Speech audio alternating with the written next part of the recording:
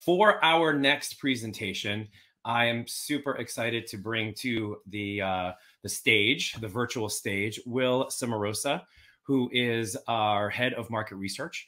Will is going to join us uh, in just a minute, and and since today marks the official launch of our qualitative research platform, Suzy Live, we thought it would be appropriate to have Will share some thoughts on how qual and quant research go hand in hand to unlock truly powerful insights. Uh, we'll use some of these methodologies at GSK uh, to drive unprecedented growth, and uh, and he's here to to show you how to do it. Um, but before Will joins us, I did want to share just a little bit more about Suzy Live and um, give you a quick sneak peek. Where there was once understanding, there's now distance. And everything we thought about consumers has been turned on its head. 2020 brought seismic shifts in consumer behavior and an inability to conduct in person qualitative research, leaving brands with expensive and inefficient solutions to speak directly with the consumers they care about most. Unprecedented times call for unprecedented innovation. Introducing Suzy Live. Suzy Live combines the speed, targeting, results, and quality you've come to trust from Suzy. Just tell us who you'd like to reach, when you're available, and we'll handle the rest. The process has never been so simple. Suzy Live brings together the audience, scheduling, moderation, transcription, and all the features you need in a simple and easy qualitative research platform. Talk directly to your consumers through powerful, face to face, high quality, in depth online interviews. With just a few clicks, you get direct access to our screened and verified audience so you can gain a deeper understanding of the consumers that matter to you letting you test new concepts, prep for a product launch, assess your advertising strategy, and validate all your assumptions. Let's build something extraordinary together. Put the voice of the consumer at your fingertips with Suzy Live. So, without further ado, um, I'm going to welcome Will to the stage. Uh, if anybody is interested in learning more about Suzy or Suzy Live, definitely check out uh, our website at suzy.com and request a demo. Uh, back to the agenda. Uh, prior to joining Suzy, I want to give Will a quick introduction here. Will worked client side, uh, leading global insights for major CPG and pharma companies, uh, including GSK. Will was actually a client of Suzy's uh, at GSK. He loved the platform so much that he joined us full time and is now leading our market research center of excellence. Uh, and he also makes sure that our product is really driven by the needs of customers since he was a power user of Suzy uh, in his past life. So everyone sit tight. Your browser is going to refresh in a second. Uh, and the next session uh, featuring Will Cimarosa talking about bridging quant and qual will start any moment. Good afternoon, everyone. My name is Will. I'm here to talk to you today about bridging quant and qual methodologies. We've got about 30 minutes together. Um, this is a topic that probably could be covered under a full semester's class, right? So in 30 minutes, what are we going to talk about today at a high level? Um, my agenda is to get you 25 minutes of content with uh, some time at the back end for discussion. I'm going to introduce a little bit about myself and who am I to be talking about any of this. I'm going to provide some context about why you should care about bridging those methodologies. And we're going to talk a little bit about latent variables um, and framing a challenge that I think quant qual mixed approaches can help us understand and talk a little bit about implementation before we dive into any types of comments or questions. So let's talk a little bit about who I am to be talking about any of this. Um, if we're going to be talking about research and rigor, which we will be at some point today, um, I want to make sure that we talk a little bit about positionality as well, right? And we're going to be talking about some tools that have, you know, started and and you know started market research before I was um, even around, just a glimmer in my father's eye. You know, a lot of this um, tools that we're going to be talking about today started in the 70s. Um, and that's a little bit about where the background is for what we're going to be talking about. Um, where do I fit in with all of this? Well, I'm a researcher um, by training. Um, 2002 to 2007, yes, that's five years. I spent a long time in graduate school where I immersed myself in qualitative and quantitative methodologies. Um, I lingered there. I enjoyed it. It's a passion of mine, which is one of the reasons I'm here today. From 2007 to about today, when it was time to get a real job um, and make a living, I've worked um, on both the vendor and the client side. Um, from 20, 2007 to 2012, I worked as a design researcher for a CPG design firm with a focus on consumer behavior. And the last eight years of my uh, career have been spent on the client side, um, uh, mostly global market research, where I had my hand in everything from innovation, foundational research, comms tracking, um, and performance metrics. Um, I've been on both sides of the screen. I've been on both the vendor and the client side. So I've experienced a lot of the things that I'm going to be talking about firsthand, and they're things that I'm particularly passionate about. Um, some of the challenges that I'm going to be talking about today, I would argue, are why I'm here today with the grayness in my beard, um, stressing and thinking about these things. Um, today, I'm a new uh, member of Suzy. I've been here just about three months. And one of the things that excited me to, to come to this organization is to start to bring to life some of the research tools and solutions I always wished I had um, with the experience I've had in this industry. And with that, we're going to dive into some of the context of what I want to talk to you about today. And that is tools. Um, the whole purpose for this event is to launch Suzy Live, which I would argue is a new type of tool. It's a qualitative tool that allows you to target respondents who answered a specific survey in a certain way. I'm not here to sell you that tool. I'm here to challenge you to start looking at the tools that are in your toolkit because the world is rapidly changing around us. Um, and if you don't start to rethink about the tools that you have in your toolkit, it you risk being le- uh, kept left behind. Um, and I, I want to talk a little bit about um, those tools now. Market research methodologies are tools just like any other tool, and they're designed to do specific jobs and tasks. The most efficient tools are almost always specialized. Um, with the right tool, you can do the job better, faster, more efficiently. It gives you a competitive advantage. Wrong tool for the wrong you know job, you fall behind, right? And those the best tools, like I said, are always specialized. The ability to specialize the tools in our toolkits are going to determine what gives us a competitive advantage. But with that framework, we also need to talk about what the job is. And sometimes we lose track of what that is. As market researchers, our job really is grounded in something that I'll call behavior change. You've probably heard that before. What are those behavior changes? Well, it's to get someone who's entering in the category to enter the brand through or enter the category through your brand. We're talking about household penetration. Another key behavior change that's going to determine the success of your brands is your ability to keep them. Someone has to now change their behavior to be loyal. You know, you need to defend brand share. and it's all about growing your brand as well.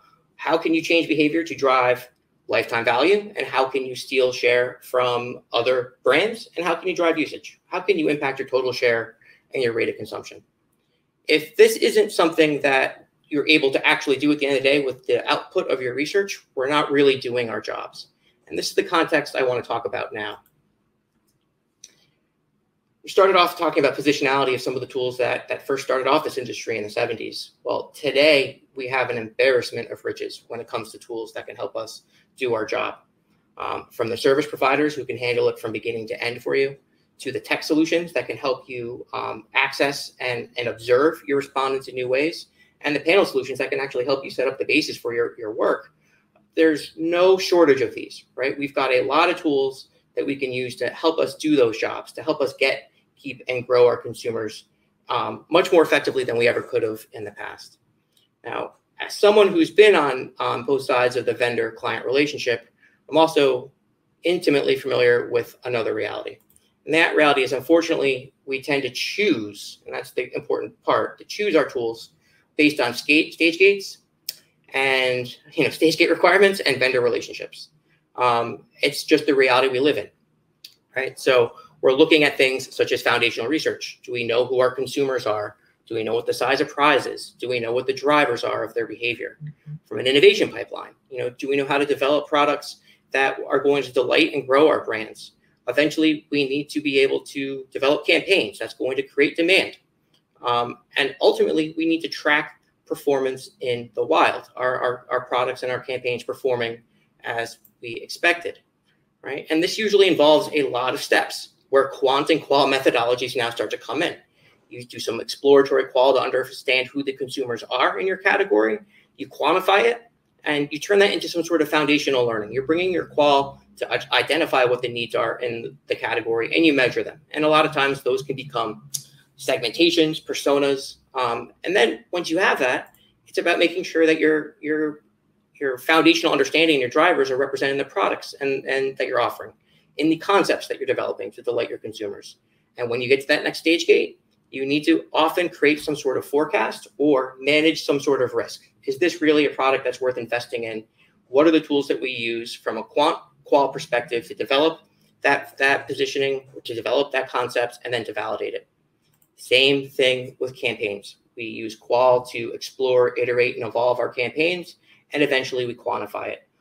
Often in this case, it's with some sort of normative database as well, some sort of validation study.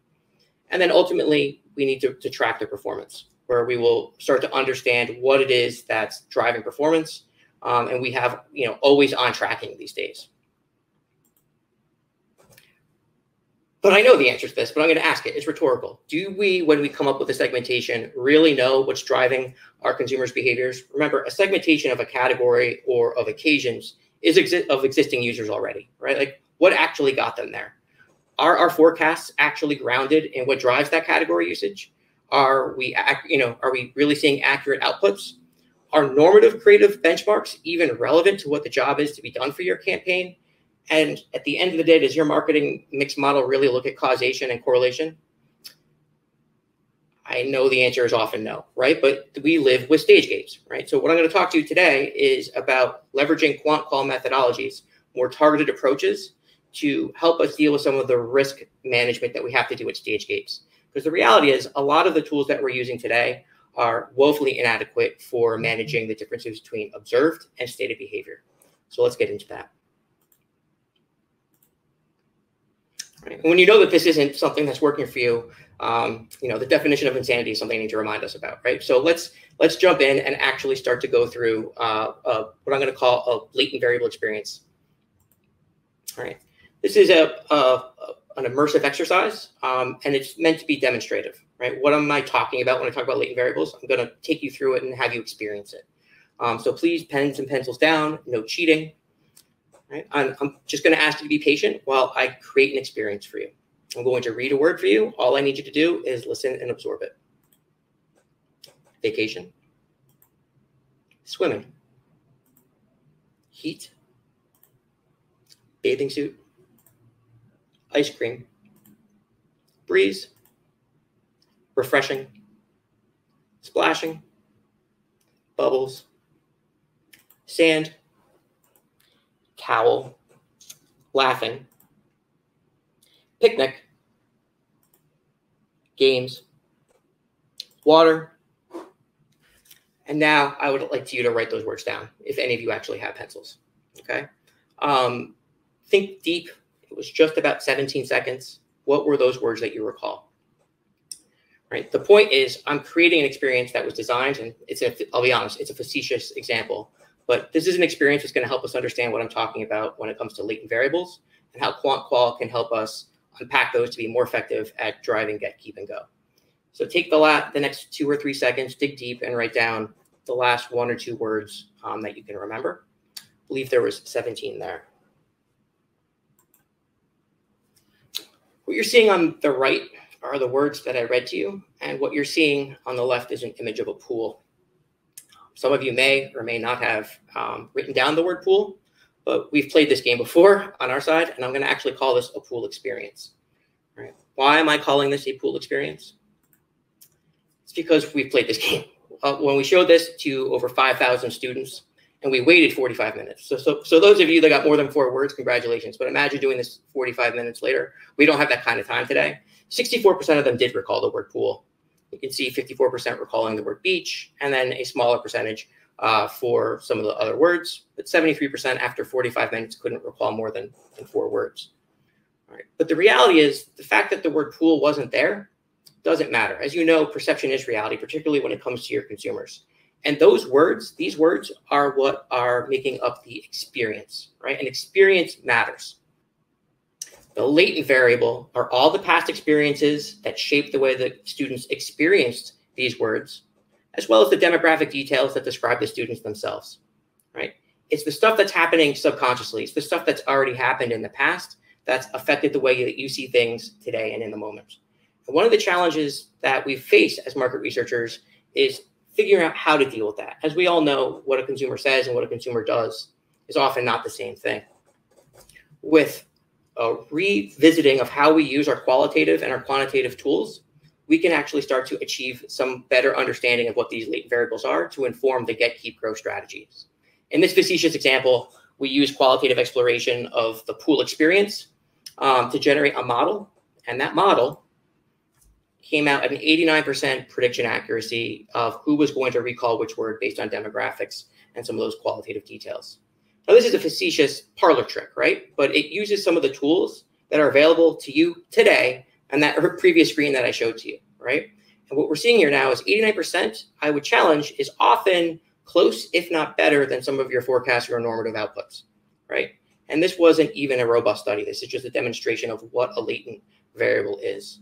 Let's talk a little bit more about what the potential for quant qual methodologies are to get us to that, right? And I want to do that by challenging you to think, how would a consumer answer some of these questions?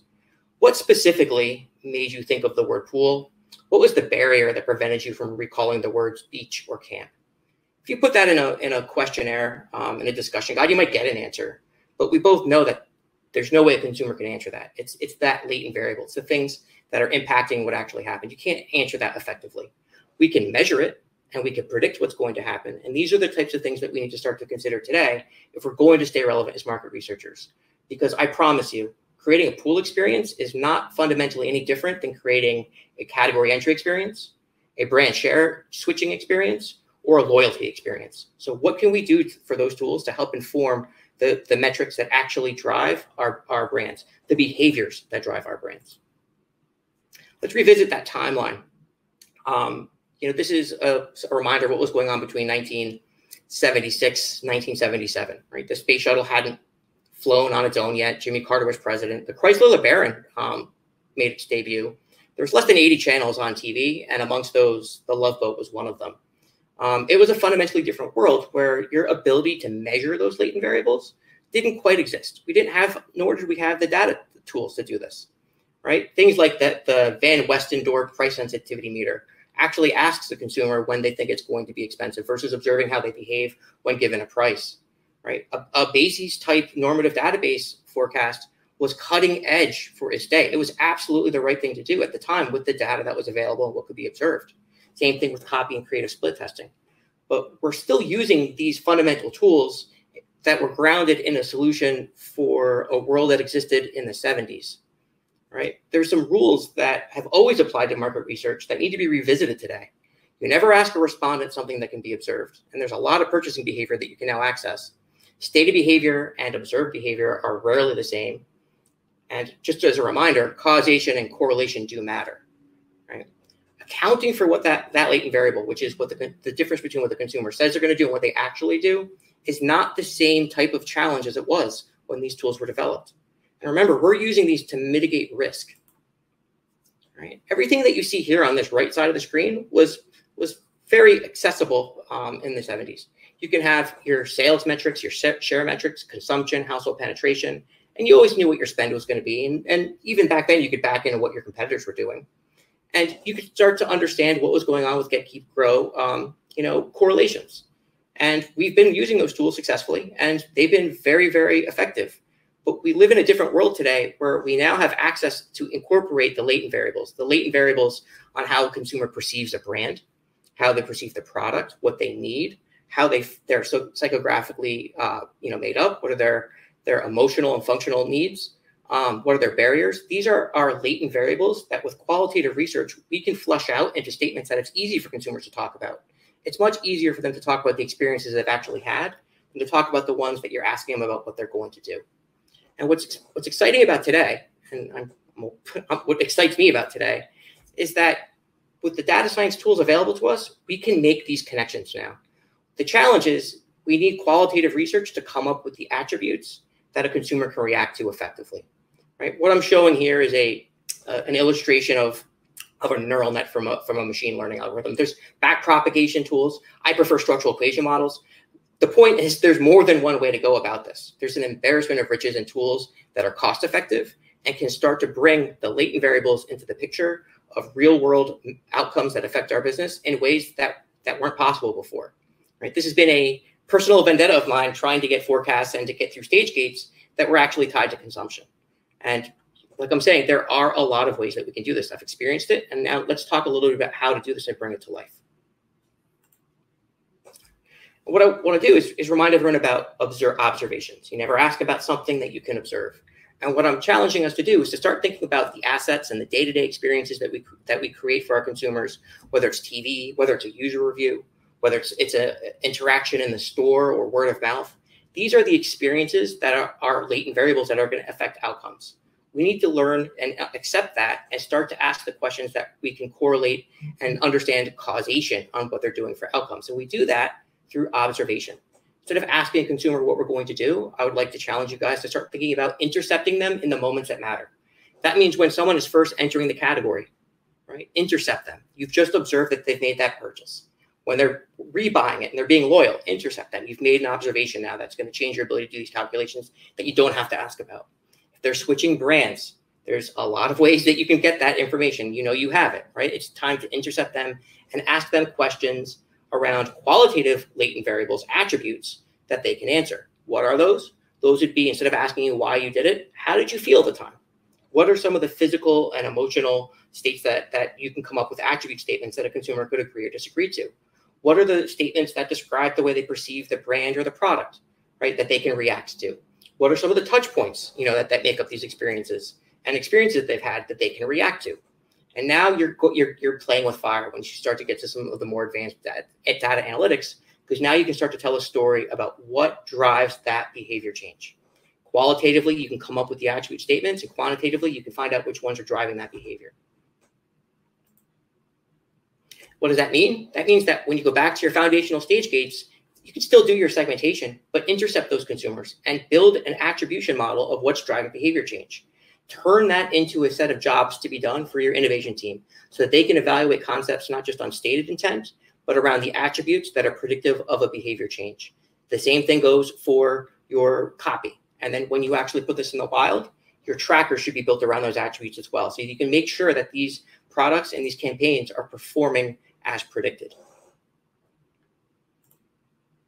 And then you develop a new type of feedback loop. I know all of you know how to use quant and qual together. But when you're actually able to use qual to develop a list of attributes that you can turn into a model and then observe people reacting to those attributes and ask them why, you're playing a different fundamental game. Dedicated focus on the attributes that matter and qualitative understanding of what it is about the experiences we create is going to allow us to create better outcomes. You're not going to have to worry about the, the, the norms and their predictability if you know what the experiences are that are predictive of a behavior change. So let's look at how we do this from a foundational standpoint. I'm not going to go into the techn technicalities of this, but typically when you do your qualitative research, you do an analysis, right? And you do, um, you know, a quantitative measurement of it. I'm suggesting it's a model. When you're doing your, your content analysis for your qualitative, your early stage exploratory qual, it's about coming up with lists of statements. All the statements that a consumer could agree or disagree to on a scale that describe how they feel at the time of the intercept, of the moment that matters, how they perceive the brand, and of the different touch points they interact with and the sources of influence. The output of that then becomes an input. Right now, you can intercept these consumers when they're exhibiting the get, keep, grow behaviors, and instead of asking them why, you actually have them quickly measure uh, with, with sliders what how much you agree or disagree to this statement, and you can start to measure the causation for what gets someone to, to actually exhibit this behavior, behavior change. So what this means then, if you think about it, if you know a snapshot of what your media spend was, if you know what um, your share of voices, and you know what your distribution, your uh, your actual household penetration was at that moment, you can start to actually generate forecast inputs from the before you ever test anything, and then you can turn that into jobs to be done for your early stage concepts and for your actual campaign assets and into tracking tools you can hone that in when you can actually observe a respondent answering against an attribute. You can pull them in and ask them why, whether it's with us or somewhere else. Someone's going to do it. And the tools and the ability to be predictive that they're going to be able to come up with and the quality of the executions and assets that are a result of this are a reality that you're going to have to face. It's happening today. I've done this myself. I've seen the results. I am completely convinced, which brings me here today to this company and talking to you now. So we've got very little time left, so let's wrap it up. Quant mixed methodologies make it possible to identify and measure the influences of the latent get, keep, grow behaviors. These are the behaviors that affect your business. With data science tools, There's no reason you can't measure the impact of these latent variables on the behavior and make them predictive. This allows you to develop the toolkits that encourage your team to develop innovation and campaign assets around actual experiences that drive behavior change. And if you don't do this, that's I understand how it is. I can't get my company to change its stage gate policy. I can't do this or that. But we're at a point where if we want to stay relevant and if we want our brands to stay relevant, it's time to start thinking about that um, more constructively because if you don't, I promise you someone else will. So with that, I've got five minutes. Abel, I'm, i know that you're you're in there somewhere, so I wanted to uh, help you or have me help this open this up to questions. Oh, wow. One question, Will, for you there uh, that kind of people have asked is so obviously we launched Suzy Live today, which is our first IDI tool. So how does that really fit into this whole entire model and kind of what you've talked a little, little bit about today? So the way that fits into the model is that you can now actually ask someone about why they answered an actual question. It's an observation. Remember, you don't ask anything about something you haven't observed.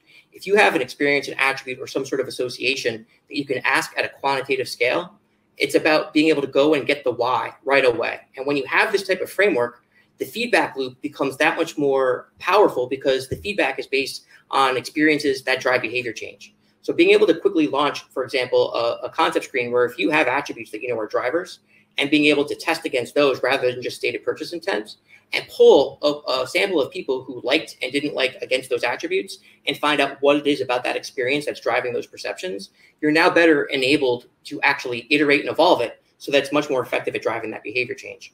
By asking quantitatively about attributes that are predictive of behavior change, you can then qualitatively ask based on how someone agreed or disagreed to that asset and really, really, you know, hone in and tune your assets or your concepts um, to really win in market. Awesome. It's kind so of a, a, a, a, simple, you know, how do you get to the model? Well, send us an email. We'll talk to you about that. Like today's about the, the quant qual mix, mix methodologies. Next quarter, I, I promise you we'll have a very similar presentation about the other end of this.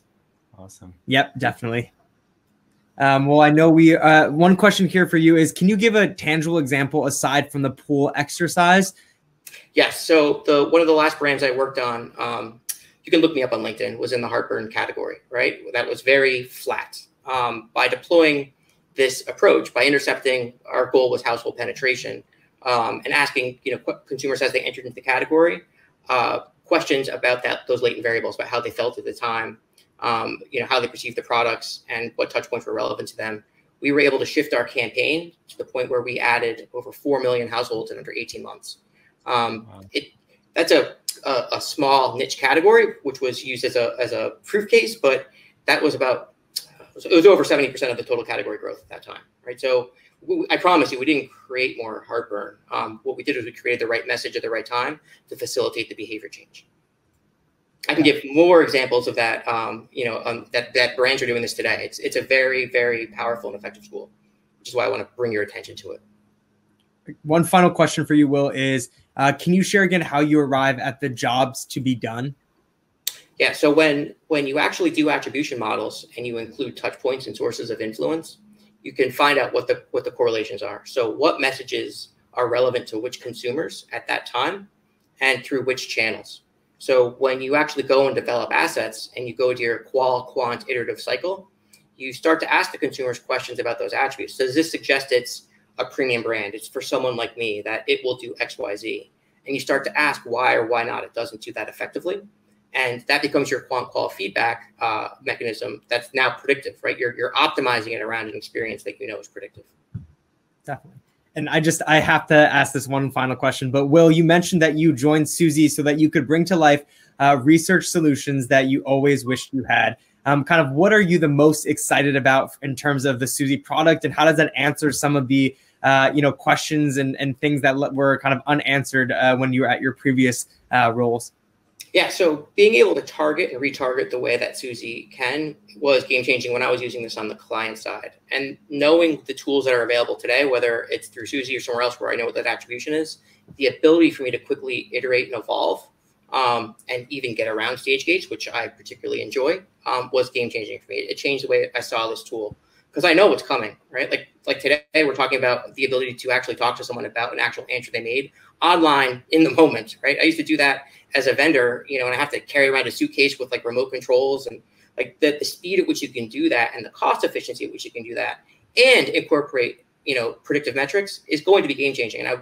I, am just so excited to be part of shaping that future because if market research is going to stay relevant it needs to stay relevant in a world of data science where more and more observable behaviors are going to be relevant and we need to translate that into tools for market researchers to make better brand experiences and i think this is a place to be to do that right now Amazing. Well, you've already had a transformational impact on our business, um, and you will continue to have a transformational impact on our customers' business. So, thank you for setting such a high bar uh, for what quality market research looks like here at Suzy and um, at scale. So, thanks so much.